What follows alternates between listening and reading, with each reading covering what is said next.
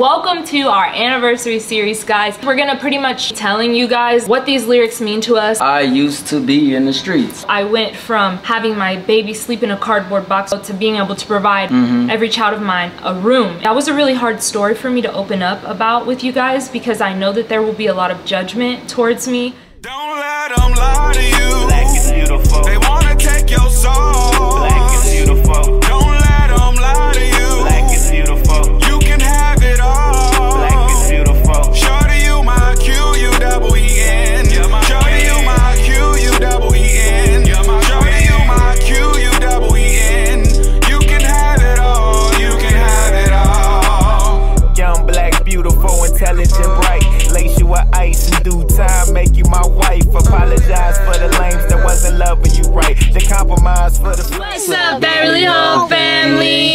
You guys doing today? Welcome back to the channel, guys. Y'all already know. Today is going down in the major. Way!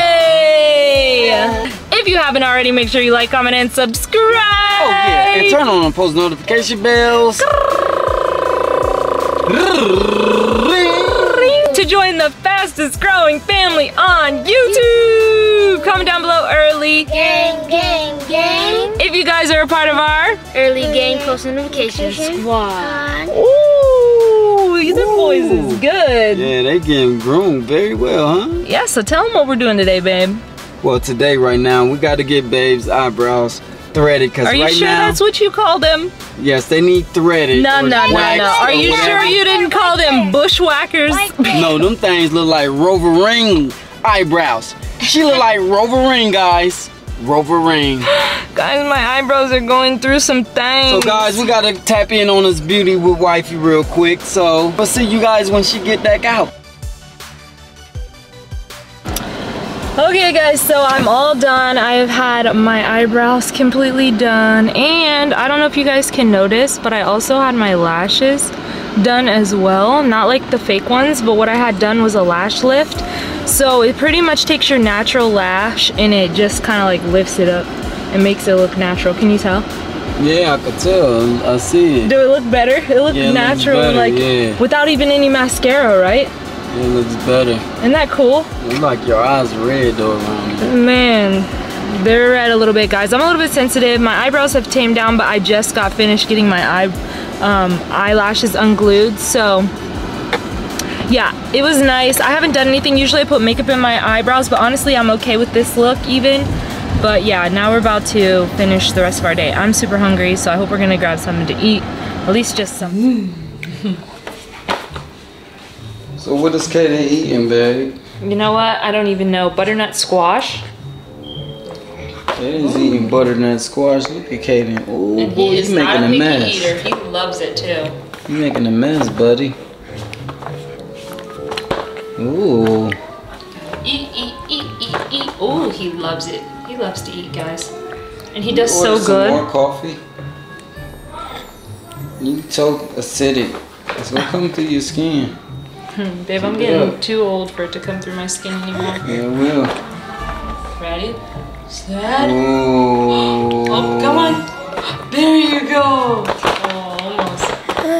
Almost. Boy, you so excited. Well, you can't even get it. Wow. Kaden, how do that feel, buddy? Huh? How do that feel? Hmm? I think he loves it. Ready? Watch. Oh, oh. Ooh. He like moves so much. You move a lot, dude. Oh, don't look at me like that, like I did something. But he loves to eat. I mean, he's doing amazing. Well, it's Kaden's eat time, I guess. What it's called, babe? Feeding. We're trying to feed him as best as we can.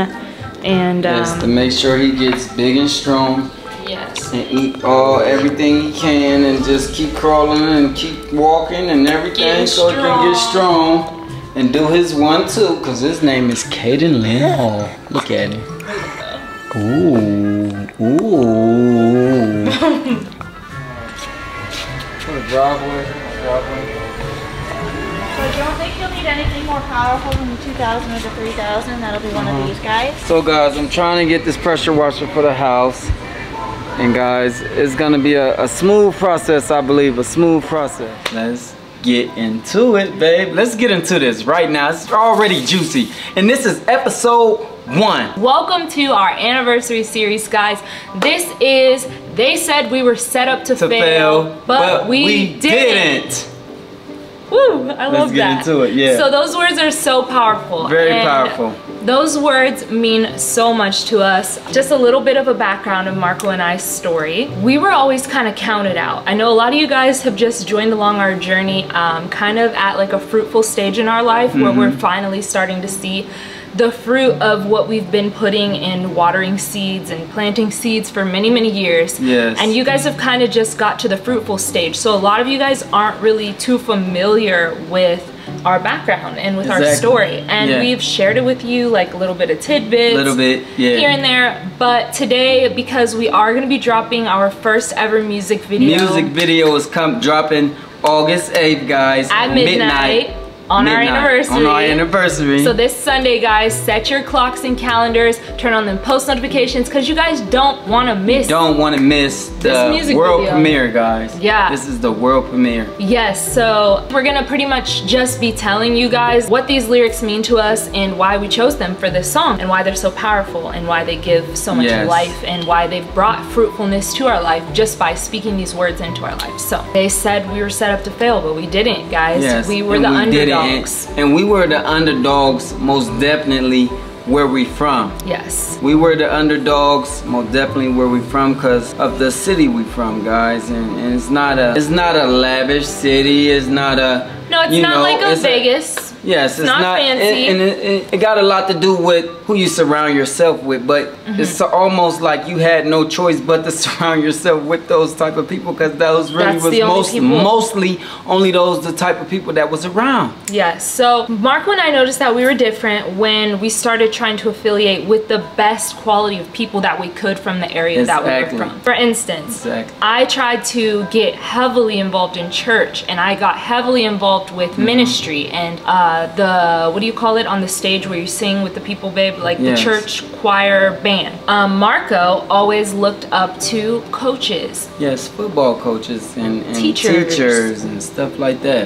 people that were just an example of positivity and endurance in our life. Yeah. Just to be completely honest with you, where we come from is a very, very, very small city. Yes, everyone has small. a lot of love for each other, but everyone is very in everyone's business, and there's a lot of crime that goes on in our city. Yes, a lot of crime. And I don't want to say that I condone crime, but there's really no way. People feel like there's no way for them to really survive if they don't go to crime to do Yes. it. So there's a lot of like stealing from other people. A lot of stuff, man. A lot of really negative Yes, things go on in the city that we're from. Yes. So on top of that, Marco and I got our first child at very early ages. Marco was 15 years old whenever he had his first child. Yep. I was 15 years old when I got pregnant with my first child. So now we're already birthed into this city of destruction. we was already set up to fail, basically. We were pretty much set, up, to fail, from right the there. beginning. Like We set up to fail, and guys, those are choices that we, you know, made on our own. We don't blame nobody because those are the choices that we made. We take full responsibility of our choices, that we made. But I know that those situations right there, you automatically set up to fail because what's a future to a And it 15 year old having a kid? Yeah, and it wasn't just us that were set up to fail.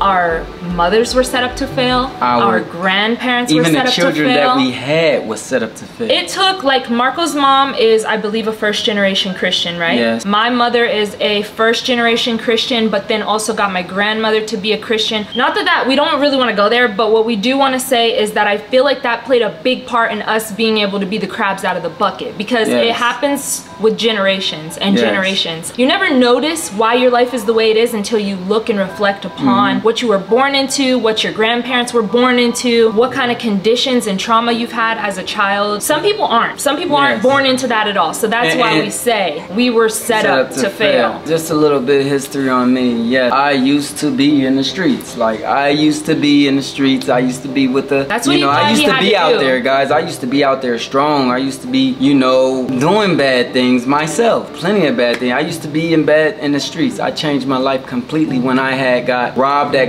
point before. I was in a whole completely different city, guys. It was crazy. It's a bad experience. I, I want to talk about it, which I am. You know, when that situation, I hope none of that situation ever happened to you guys, but that situation happened to me and my life flashed before my eyes. Everything that I did, everything that I said, everything just went so fast like three guys having pointed to you, you know, pointed at your head, telling you to, and then the other one's telling them to, to, to get me out of here, stuff like that. And I'm looking dead at the dude in his eyes while he got the pointed to my head. Begging for his life. You know, saying, man, you don't gotta do this, you don't gotta do this, just take it, whatever, whatever, whatever. You know, just take take it, just take it, just take it. Don't take my life, just take it, you know. I feel like God gave me a, a second chance on that. And after that, guys, I changed my life because, and I knew I had so much going for myself. I had a family at home, I had, you know, my mom, sister, brother, cousins, and all type of stuff, my daughter, everything. It was just too much. And so unfortunately, after that, I changed my life. But in your family, like Yes, and there's in my family is generational of curse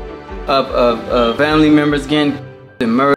I was headed down that path if I didn't change my life and go and detour and go the other way and pursue my boxing career and go full fledged on that and stop being around the people I was being around, hanging around the people I was hanging around. That's what we mean by we were set up to fail, but we did it. Yeah, same exact situation for Marco, but unfortunately on my side of the family there was a lot of as well. I was headed down the path of being by I don't even want to say who, but I just want to say that if I would have stuck in the conditions that I was in, I probably would have ended up dead on multiple occasions for multiple different reasons. Just because of the people that I associated with and the crowds that I was hanging around.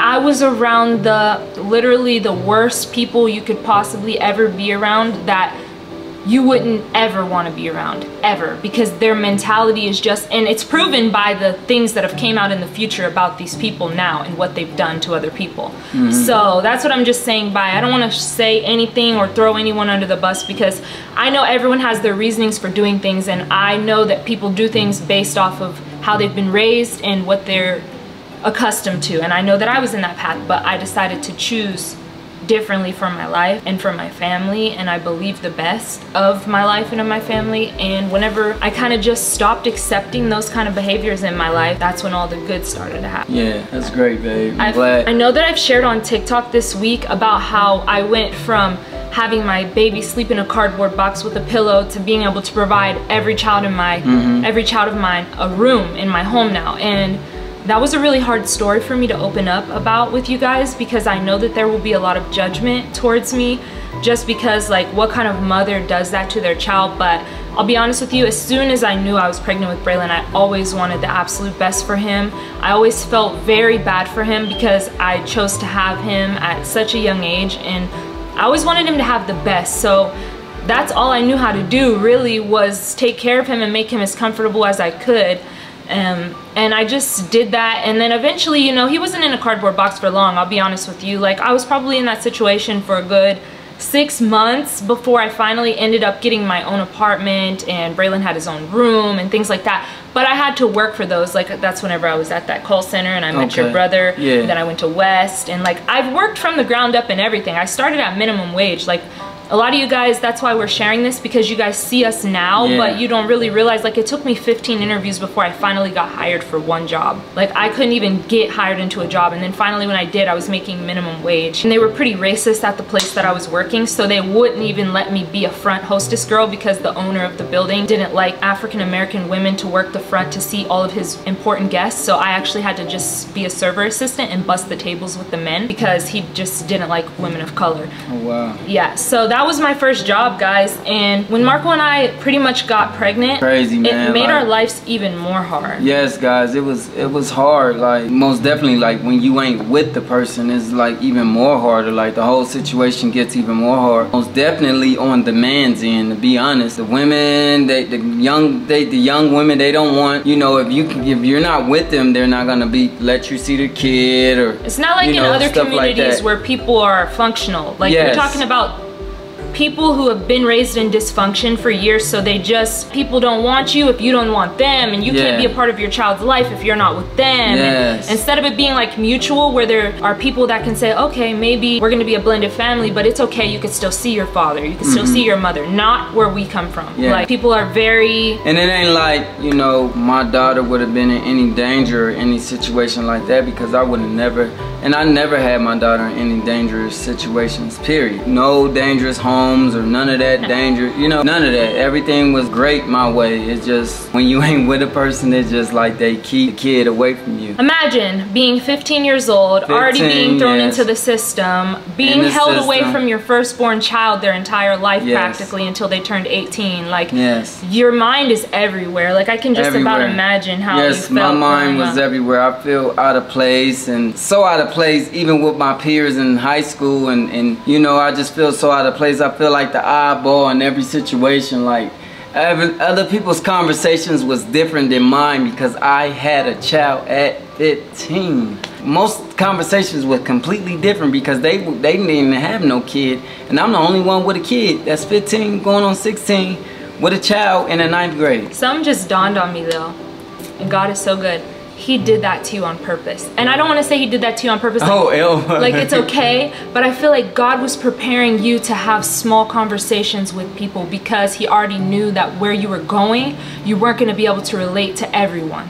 Exactly. You know what I mean? Like I don't know why that just connected with me right now, Yeah. but I feel so deeply that the reason why God allowed us to be such a minority group of people is Mm-hmm. because he already knew where we were going, a lot of people weren't going to be there. And even though it was a hard situation and it was something that most people wouldn't Yeah, be able was, to it was endure, very hard, babe.